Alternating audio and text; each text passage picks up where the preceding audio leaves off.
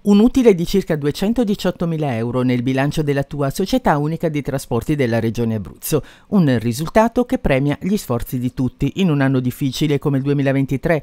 anno in cui si sono fatti investimenti importanti nell'ottica del miglioramento dei servizi e della transizione energetica. Il bilancio è stato presentato a Pescara dal presidente Gabriele De Angelis e dal direttore Maximilian Di Pasquale insieme al presidente della regione Abruzzo Marco Marsiglio e all'assessore Umberto Dannuntis. Gabriele De Angelis, presidente della tua, bilancio con un buon utile e si chiude un anno anche complesso comunque per la, per la tua.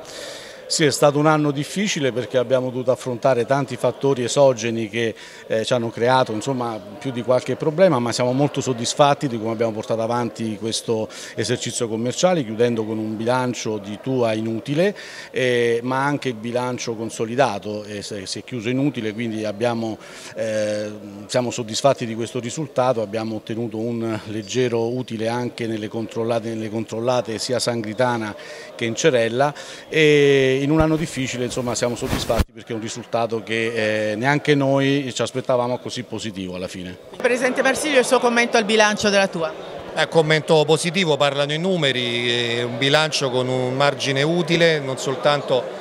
della capogruppo tua ma dell'intero consolidato, vuol dire che anche le altre aziende del gruppo sono state ricondotte a una gestione eh, seria, oculata e virtuosa del bilancio e questo avviene nel momento in cui incrementiamo il numero di chilometri percorsi, il numero di passeggeri trasportati, con incrementi di ricavo da traffico che passano da 17 a 20 milioni, un risultato molto importante, c'è un incremento netto molto significativo. Stiamo abbattendo anche l'età media dei mezzi con l'acquisto dei nuovi mezzi, peraltro nel campo ferroviario addirittura quasi raddoppiato il numero dei mezzi a disposizione e la L'anzianità media dei mezzi passa dai quasi 14 anni del 2019 quando inizia il mio, il mio primo mandato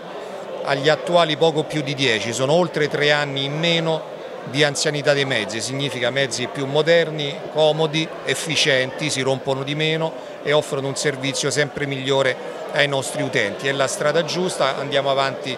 lungo questo percorso.